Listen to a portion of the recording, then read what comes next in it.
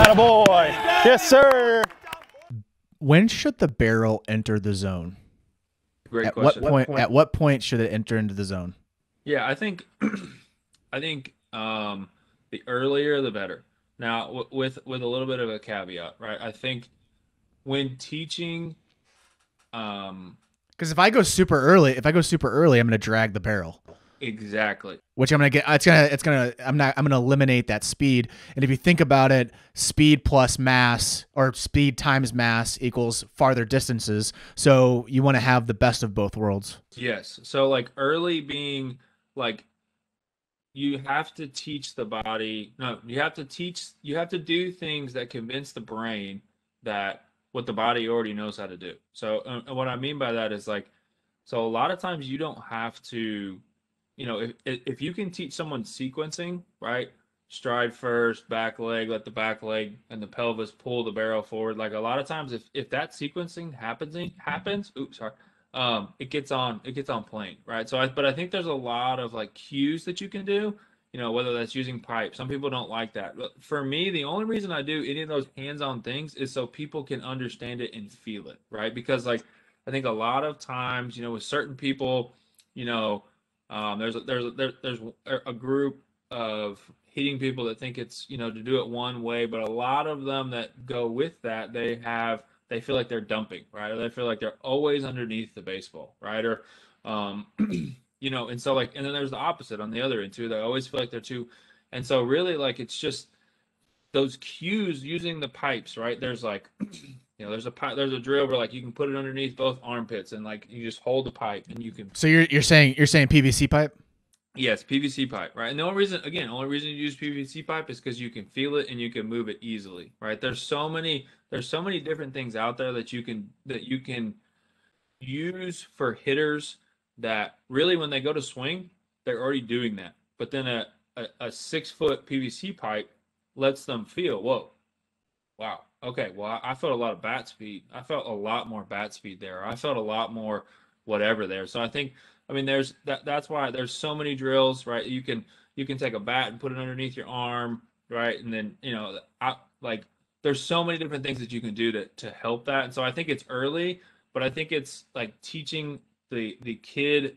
This is what we're trying to do. We're not trying to get behind and lose, right? Like, and there's, um, we're getting to do a, we're getting ready to do a YouTube video on this, right? But there's a, um, we're doing like a then and now with Mookie and um from when he came up or when he started first playing pro ball until now. And like one of the things that you can see is his like in the four, 2014 clip is his barrel starts breaking before he gets to the baseball, right? And so like showing clips showing clips to kids like, hey, like we don't want this barrel, we don't want there to, it to start looking like a door yet, right? We want the body to take to pull the bat and we don't want that we don't want the bat to look like a door yet um, because if you if that if that barrel gets away from you, it's gonna create that that drag a little bit early. So you want that sweet like the sweet part, which is the densest part of the wood, or the metal, which is really hard for metal bats, especially those DeMarinis.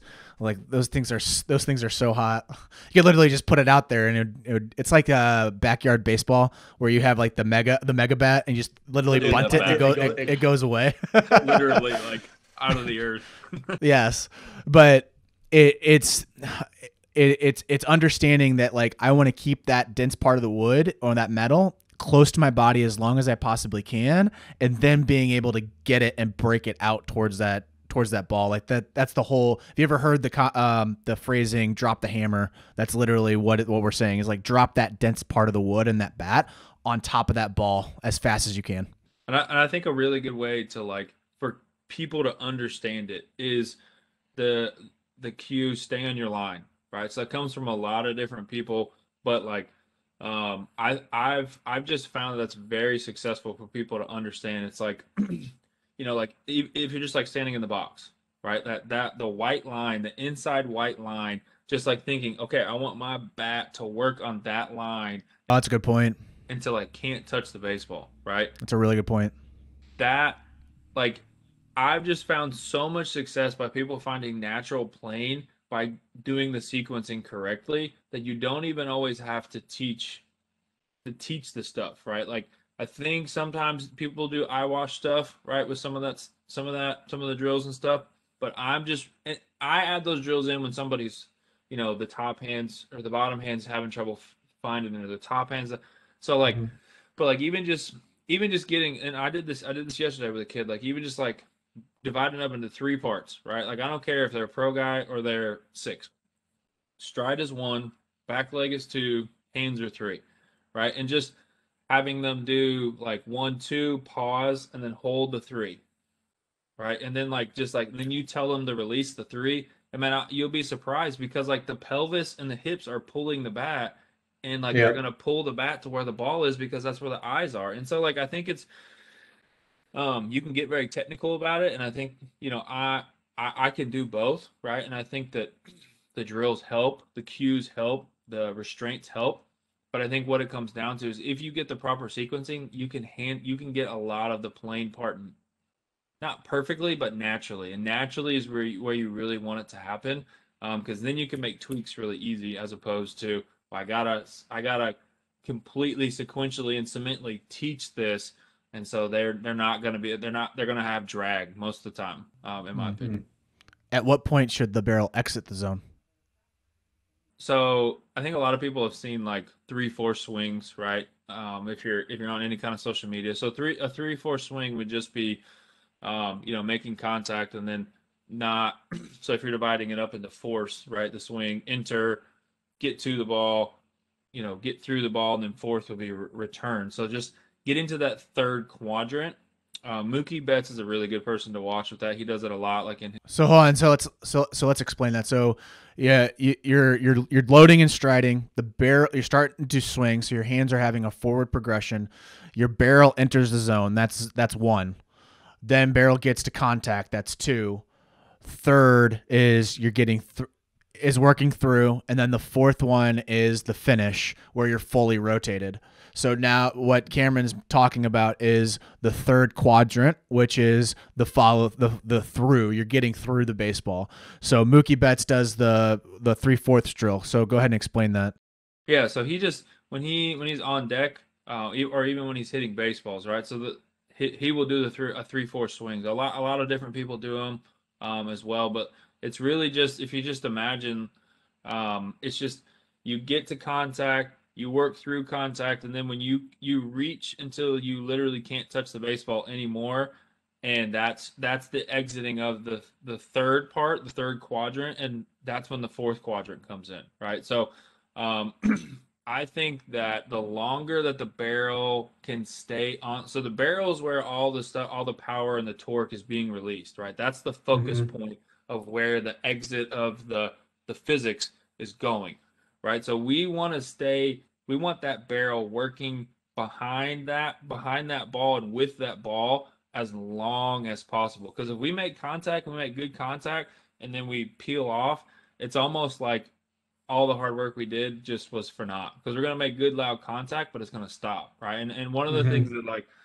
I tell my guys is that the the bat should follow the ball, right? And what I mean by that is if you let go of the bat, they should be like if the ball was here, right? If the ball was wherever the ball was going, and then the bat you let go of the bat and it was like doing the helicopter, they should be on the same angle, right?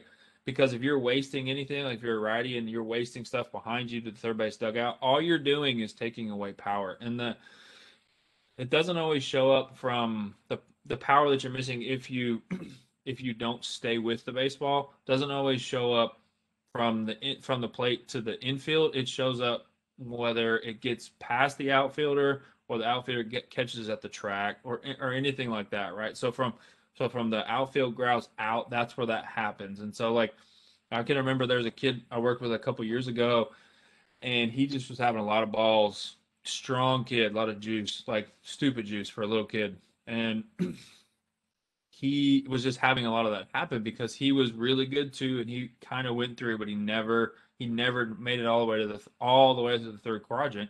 And he started mm-hmm. doing that, and he ended up leading his collegiate team in home runs. And like, I mean, he's every bit of 5'10, 170 pounds, and not uh, drop your shoulder, hit the ball. Like he just, I mean, I think nine of eight of his home runs or something like that were to straightaway right field, right? So not a not a big dude that's trying to untie his shoes when he swings. And so that third quadrant is is really the goal and just more just more because we don't want to waste it. I don't want to get here and then peel off. Right. I, mm-hmm. I want to get here and I, I want to get to the ball, which is good, but I want to finish through. I would argue that the finish is almost is almost more important than getting to it because getting to it is like the studying for the test, right?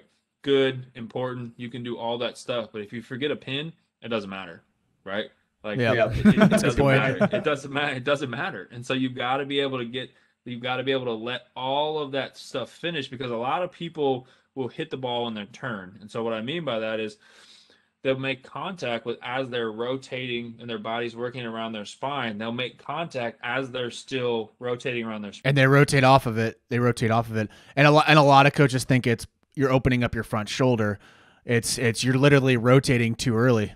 Mm-hmm. A hundred percent, right? And so like, so when you when you're making contact with the ball and you're still like you know finishing that your uh, your elbows are going to be bent so think about all that that you all that stuff that you still have to push and you still have to finish if we spin off or we don't work into that third quadrant you're wasting all that you're wasting mm-hmm. all that so you might as well just like not extend your arms and not do anything right and just kind of baby arm it because that's that's essentially what you're doing and so i think that just like being aware of that third quadrant as a visual um you know what we used to set up a um, just like a essentially like one of those covers for the infield when you're hitting fungo, so it doesn't doesn't mess up the infield. And we used to we did a color system, and it's like, hey, we just like get to this third quadrant, try and get to this third quadrant. We would we would you know test our guys. We put it way out in front, but like it's like, hey, like I'd rather you work out that way and then just you know let the bat go back to cinder. So I think that's a, I think that's a really good way. Just like visuals help people. Um, it's that it's that same thing, right? It can be likened to like hit the ball still be in contact with the ball three balls after the tee, right? Some some people may be familiar with that terminology, right? Mm-hmm. That's the whole thing. That's what the third quadrant is is being I would even say maybe five balls, right? Trying to be five balls off the you know from the plate still connected to the ball or still moving that way. And I think so that third quadrant. So if you think about that, I mean you're engulfing if you're in the zone from first quadrant, second quadrant, third quadrant, like you're you're matching incredibly so, right? And that could be different, right? It could be a Chris Davis is in early, or it could be a Miggy that's in that's in a little bit later, right? But it's just he's still hitting all three quadrants and working through. That's how he can hit the ball out to right field. Hmm. It's really it's really tough to teach that to younger guys. And um, one drill that we used to use a lot when I was playing was um, replace to contact. So basically, you're closing yourself off. You're hitting through the baseball, but then uh, if you're trying to get back to contact, you can't rotate over. If you rotate too much, you're not going to be able to get back to the to the right spot. Um, another drill we used to do was the helicopter drill, where we would hit through and we'd have the helicopter it, just like Fred McGriff, the crime dog. Catch new episodes of the Tiger Interview series on Apple Podcast, Spotify, and you can watch it on YouTube. Make sure you subscribe to get notified of future episodes by setting notifications to all. And check out our website, rawlingstigers.com, for club baseball and softball information.